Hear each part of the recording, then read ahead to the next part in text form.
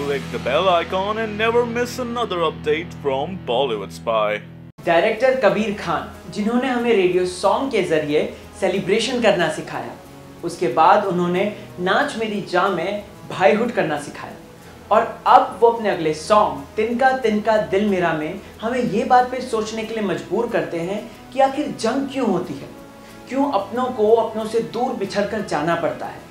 मैं हूँ राहुल भोज और सॉन्ग रिलीज़ हो चुका है तिनका तिनका दिल मेरा, जिसे स्वर दिया है राहत फतेह अली खान साहब ने और इसे कंपोज किया है प्रीतम दा ने। बताऊँगा सारी बातें कि बॉलीवुड स्पाई को कैसा लगा ये सॉन्ग क्या है रिएक्शन सारी बातें exclusively on Bollywood Spy song की जब शुरुआत होती है तो इतना ज़्यादा इमोशनल है, इतना ज़्यादा सेंटिमेंटल है कि मेरे रोंगटे खड़े हो गए।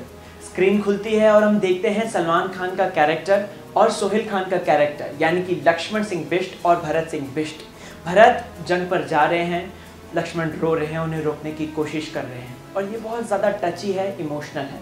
और वहीं हम देखते हैं लेट ओमपुरी साहब की एंट्री लेट ओमपुरी साहब सलमान के कैरेक्टर को समझाने की कोशिश करते हैं, उन्हें धैर्य से काम लेने की प्रेरणा देते हैं। रोते हुए के चेहरे पर हँसी कैसी लाई जा सकती है, ये सिर्फ़ डायरेक्टर कबीर खान जानते हैं। सीन बहुत ही ज़्यादा इमोशनल है और सेंटिमेंटल है, जो कि मैंने आपको बताया। तुरंत सीन एकदम से फनी बनने लगता है। सोहेल खान का कैरेक्टर सलमान खान के कैरेक्टर को चेयरअप करने की कोशिश करता है। वो एक फ़नी सा डांस स्टेप करते हैं और इससे सलमान खान के चेहरे पर एक हँसी आती है। और हम देखते हैं कि फ्लैशबैक जाता है, जहाँ पर सलमान और सोहेल का कैरेक्टर एक बड़ी सी स्क्रीन के आगे, जो एक पर्दे की होती है, उसके आगे खड़े होकर वो डांस स्टेप कर रहे हैं। आई गेस ये उनका सिग्नेचर स्टेप है। भरत लक्ष्मण को छोड़ के जा चुके हैं और लक्ष्मण बिल्कुल अकेले हैं, तन्हाई में घूम रहे हैं। वो उन मोमेंट्स को जीने की कोशिश कर रहे हैं जो उन्होंने भरत के साथ बिताए।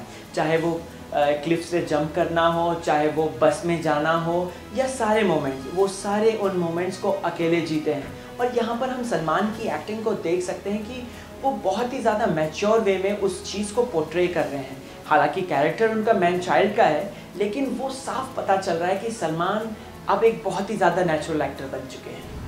अभी तक तो डायरेक्टर ने हमें सिर्फ़ लक्ष्मण की साइड की स्टोरी बताई कि लक्ष्मण को कैसा फील हो रहा था जब भरत उनको छोड़ के गए।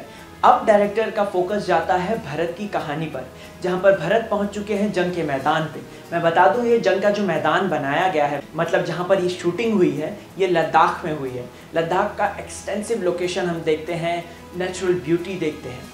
वहाँ पर जो सोहेल खान का कैरेक्टर है भरत वो जंग में घिरा हुआ है, दुश्मन है, चारों तरफ़ गोलीबारी चल रही है, विस्फोट हो रहे हैं और सोहेल खान का कैरेक्टर यानी कि भरत बहुत ही बहादुरी से अपने दुश्मनों का सामना कर रहा है। सॉन्ग का ये जो पोर्शन है, ये बहुत ही ज़्यादा रूह में कंपन पैदा करने वाला है। अगर आप ध्यान से देखेंगे तो एक पहाड़ की चोटी पर जगतपुरा के लोग इकट्ठा हो रखे हैं। वहाँ पर ओमपुरी साहब भी हैं, सलमान खान भी हैं और सलमान खान का कैरेक्टर श्रद्धांजलि अर्पित कर रहा है। तो इसका मतलब साफ़ है कि शायद जो भरत है, यानी कि सोहेल खान का कैरेक्टर है, वो अब नहीं रहा, वो अब एक्सपायर हो चुका है। सॉन्ग के कुछ आखिरी के मोमेंट्स हैं, वो सच में दिल को दहलाने वाले हैं और रूह में कंपन पैदा करने वाले हैं। अगर आप ध्यान से देखेंगे तो सोहेल खान का कैरेक्टर एक जूतों की दुकान पर है। वो जूते खरीदना चाहते हैं, लेकिन उनके पास पैसे नहीं हैं। फिर उसके बाद हम देखते हैं सेम वही जूते जो सोहेल खरीदना चाहते थे। वो सलमान खान कैरी करते हुए घूम रहे हैं, रो रहे हैं पिलख रहे हैं भरत की याद में। और उसके बाद जो सीन है, वो सच में सच में ज़्यादा टची है। तो ये था हमारी तरफ़ से कुछ इमोशनल सा, कुछ सेंटिमेंटल सा रिव्यू कि हमें कैसा लगा ये सॉन्ग मुझे तो बहुत ज़्यादा इमोशनल और फीलिंग लगी और खुशबम्स आए। आपको क्या लगता है? आपको कैसा लगा?